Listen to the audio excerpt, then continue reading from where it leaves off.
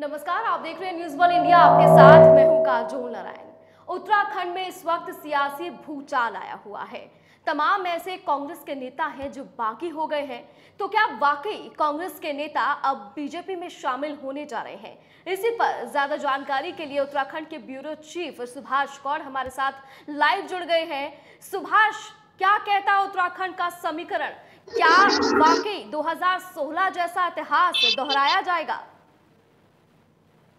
जी, बिल्कुल ये कहा जा सकता है कि कांग्रेस के घर में कुछ भी ठीक ठाक नज़र नहीं आ रहा और उसकी मुख्य वजह यह है कि पिछले दिनों जिस तरीके से प्रदेश अध्यक्षों से इस्तीफा मांगा गया था और उसके बाद इंतज़ार किया जा रहा था कि कांग्रेस अपने नए नेता प्रतिपक्ष और नए प्रदेश अध्यक्ष बनाएँगे, लेकिन इंतज़ार ये भी किया जा रहा था कि शायद इस बार जो समीकरण होंगे, वो बेहद अलग होंगे और शायद कहीं ना कहीं उन बड़े नेताओं पर, उन बड़े ईमानदार नेताओं पर भरोसा किया जाएगा जो पार्टी के लिए बखूबी काम करते हुए नज़र आए थे और चुनाव में भी जिन्होंने बेहतर प्रदर्शन किया, साथ ही पार्टी को मज़बूत करने की भी जो कोशिश कर रहे थे, लेकिन ऐसा कुछ नज़र नहीं आया, क्योंकि जिस तरीके से करण मेहरा को प्रदेश अध्यक्ष बनाया गया और उसके साथ ही दूसरी तरफ़ नेता प्रतिपक्ष, ये कहा जा सकता है कि यशपाल आर्य को बना दिया गया तो उसके बाद से ही पार्टी के अंदर बगावत तेज हो गई। जो विधायक थे जो जीतकर विधानसभा पहुँचे थे वो बगावत करने उतर पड़े। और सबसे महत्वपूर्ण चीज़ ये है कि धारचूला के जो विधायक है कांग्रेस के हरीश धामी उन्होंने खुले मंच से कह दिया कि वो पार्टी छोड़ देंगे। साथ ही उन्होंने ये भी कहा कि यदि आ, हमारी सीट से मुख्यमंत्री पुष्कर सिंह धामी चुनाव लड़ना चाहेंगे तो हम उनका भी स्वागत करेंगे। क्योंकि हम चाहते हैं धारचूला की जनता चाहती है कि प्रदेश का विकास हो और धारचूला का भी विकास हो। जाए यदि मुख्यमंत्री हमारी सीट से चुने जाते हैं तो उस क्षेत्र का भी विकास होगा। यानी कि ये साफ़ है कि कांग्रेस की जो बगावतें हैं। वर्सेस गढ़वाल की है या पर्दे के पीछे कुछ और ही चल रहा है? ये नहीं कहा जा सकता है कि अभी लड़ाई कुमाऊं वर्सेस गढ़वाल की है क्योंकि इससे पहले अगर बात की जाए तो कांग्रेस के अंदर जो प्रदेश अध्यक्ष थे गणेश गोदियाल वो श्रीनगर विधानसभा से आते थे और वो भी गढ़वाल मंडल के नेता नेताओं में शुमार हैं।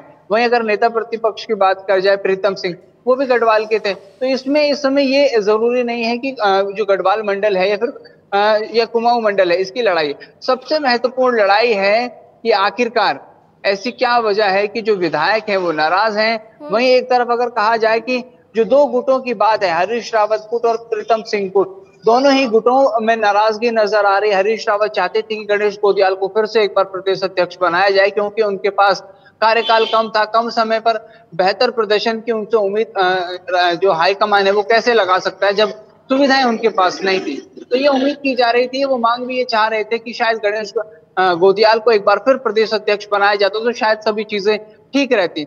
लेकिन वहीं दूसरी तरफ़ ये कहा जा सकता है कि प्रीतम सिंह गुट भी काफ़ी नाराज़ चल रहा है और की नाराज़गी इस बात पे है कि नेता प्रतिपक्ष है। महारा की बात की जाए तो वो किस खेमे से आते हैं? क्योंकि वो प्रदेश अध्यक्ष बनाए गए हैं। बिल्कुल यदि खेमे की बात की जाए तो करण मेहरा पहले हरीश रावत खेमे के माने जाते थे क्योंकि हम्म। हरीश रावत के वो रिश्तेदार भी लगते हैं और काफ़ी करीबी भी उनके माने जाते थे। लेकिन अब क्योंकि हरीश रावत पैर भी गणेश गोदियाल के लिए कर रहे थे और ये कहा जा सकता है कि प्रदेश अध्यक्ष करण मेहरा को बना दिया गया।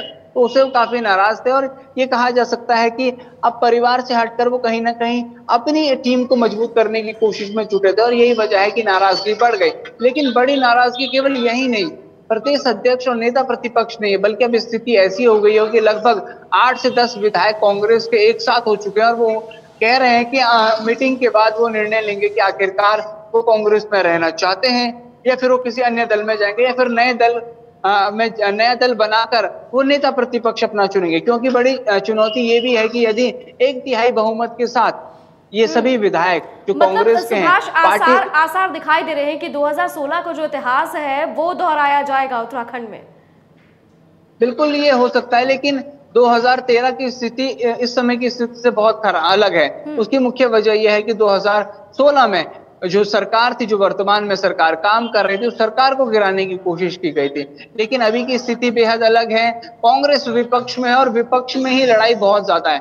अब विपक्ष में भी एक और विपक्ष खड़ा करने की कोशिश कांग्रेस के तमाम जो नेता है, वो कर रहे हैं, वो चाहते हैं कि वो एक अलग पार्टी बनाए, अलग नेता प्रतिपक्ष बने और उसके साथ ही वो कांग्रेस को अलविदा कह दें। लेकिन हालाँकि अभी मंथन का दौर ज़रूर जारी है, क्योंकि करण मेहरा ने आज पत्रकार वार्ता करते हुए ये ज़रूर कहा कि मैं वो सभी नेताओं से बात करेंगे सबको एकजुट करेंगे और कोशिश ये भी वो कहते हुए नज़र आ रहे हैं कि कोई भी गुटबाजी कांग्रेस के अंदर नहीं है लेकिन जो गुटबाजी है वो खुले मन से नज़र आ रही है सभी बड़े नेता कहीं ना कहीं नाराज़ नज़र आ रहे हैं और सबसे महत्वपूर्ण चीज़ है कि आज एक महत्वपूर्ण बैठक भी हो सकती है। चलिए बहुत शुक्रिया आपका तमाम अपडेट हम तक पहुँचाने के लिए। तो अब देखना ये होगा कि उत्तराखंड में जो कांग्रेस के बगावत तेवर है, वो कब तक खत्म हो पाती है और जो बगावती आग है, वो कब तक बुझ पाती है। फ़िलहाल के लिए इतना ही, आप बने रहिए न्यूज़ पर इंडिया के साथ।